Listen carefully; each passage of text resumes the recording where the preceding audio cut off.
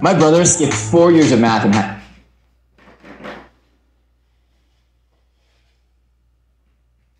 High school. My sister learned how to speak seven languages. I couldn't figure out how to finish reading a book on my own until I built this. And if you have dyslexia, ADHD,